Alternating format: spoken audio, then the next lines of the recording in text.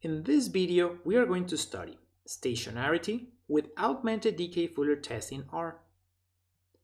As you can see at the bottom of the screen, this is an educational video only and no professional advice is included within it. Okay, so let's go into RStudio. So the first step within the video is we need to load the corresponding packages. Therefore, we comment this as step 1, packages. And for loading packages, we use library function and within it the name of the package. So for this video, we'll be using forecast for time series characteristics. Then also with library function, we'll be using ggplot2 for the corresponding chart.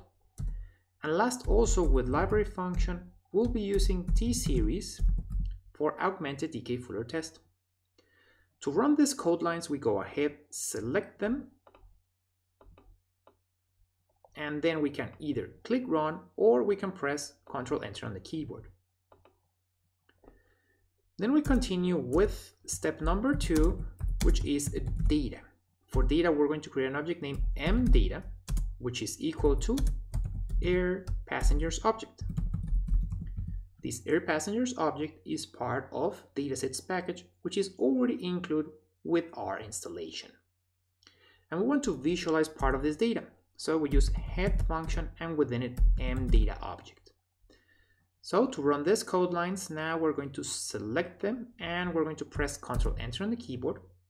And as we can see, this creates the mdata object within the global environment as a time series of length 144 observations and part of this data is being printed within the console. We have the first six observations from January to June of 1949, and this is monthly airline passenger numbers in thousands. If you want to read the full documentation of this data, you can go into the Help tab and search for the object name, which is air passengers, select it, and then you'll see the documentation below, as mentioned previously, monthly airline passenger numbers in thousands from 1949 to 1960. So now we're going to continue with ranges delimiting. And we're going to create two ranges, a training range for model fitting and a testing range for model forecasting. So we begin with the training range. So we create an object named t data, which is equal to, and here we're using window function and within it the parameters x which is equal to m data, comma, and equals to c 1958, comma 12. And then we're going to create the testing range, which is going to be the object name f data equals to, again, window, and within it we have x equals to m data, but in this case, start equals to c 1959, comma 1.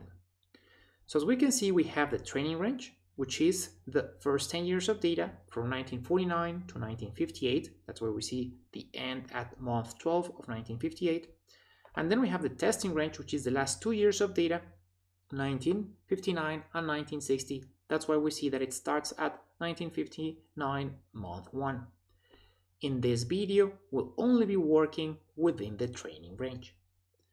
So to run these code lines, we go ahead, select them, and we press Ctrl Enter on the keyboard. And let's go ahead and visualize the training range data within its corresponding chart. So in this case, we'll be using autoplot function and within it parameter object equals to t data. And we are going to add labs labels y, that's the vertical axis label, which is going to be air passengers.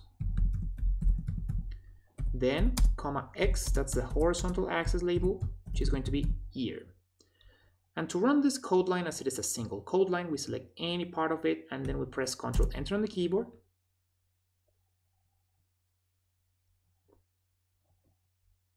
And right here within the plots tab we can see the chart. So we zoom into it. And we have air passengers on the vertical axis, year on the horizontal one, and the solid black line, which is the training range data. So now that we have the data ready, we can continue with step number three, which is first order stationarity. And for this, we are going to study augmented Dickey Fuller test. And for this, we'll be using adf.test function and within it the following parameters. x equals to t data, training range data, alternative for alternative hypothesis equals to, within quotations, stationary, comma, k equals to 12. So k is training range data differences lag order, and here we included 12 because data has a monthly frequency. Notice that adf.test function includes constant and trend variable by default. Also notice that we need to check and test if constant, trend variable, and this training range data difference number of lags are needed within augmented Dickey-Fuller test. Also, notice that ranges delimiting and augmented Dickey-Fuller test function parameters were only included as educational examples which can be modified according to your needs. So let's go ahead and run this code line again. We select any part of it and we press Ctrl Enter on the keyboard and we can see the results being printed right here within the console. Before we go into these results, if you want to read the full documentation of this adf.test function, again, you can go into the Help tab and search for the function name, or you can input here within the console question mark adf.test without parenthesis and enter key. And as we can see, this opens the documentation right here. So back into the results, we have augmented Dickey-Fuller test. The data is the training range data. We have the augmented Dickey-Fuller test statistic, lag order, approximated p-value, and alternative hypothesis. So regarding this augmented Dickey-Fuller test, associated approximated p-value, we have the individual null hypothesis that previous period training range data coefficient is equal to zero or that training range data has a unit root. If rejected, training range data is first order trend stationary or assumed with a constant mean around a deterministic trend when including 12 lags in augmented Dickey-Fuller test. If not rejected, training range data is not first order trend stationary or assumed with a non-constant mean around a deterministic trend when including 12 lags in augmented Dickey-Fuller test. Okay, so with this we finish with the code file, so we can go ahead and save it. And with this, we also finish with this video. Thank you for watching.